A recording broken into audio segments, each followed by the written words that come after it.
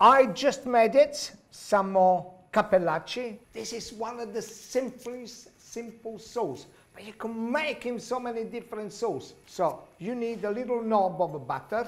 Actually, that is quite big, but never mind. I like a bit of butter.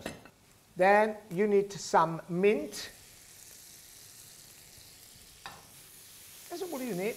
And be careful when you cook this, because especially when you put water inside, remove it from the gas. If I leave them on the gas, you will get a flame. It's done. Pasta cooks in seconds, straight inside. Now, just a little juice of a lemon. So fresh for the summer as well. Nice. Can see the pasta is ready coming up. Oh, I love this curry. Just pick him up, the little baby, and just put him inside. How simple it is to make. Incredible simple, but most of all, full of taste.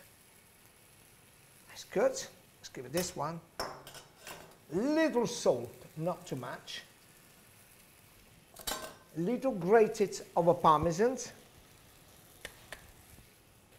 stirring well until I get the lovely creamy. Get all the lovely ravioli, get the lovely flavor. Just I want to taste it. Oh my god. Oh my, it's so good. It's incredible good. Shake it. Get a plate. I start to put them inside a plate.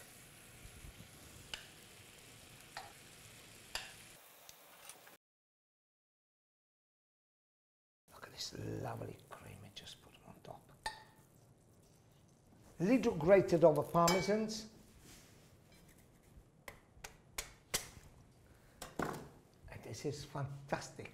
Cappellacci with ricotta, lemons, mint and parmesan. Hope you enjoyed it. You can get more tips on my book. Let's cooking all together. Let's be happy people like you are happy foodie. Bless you all.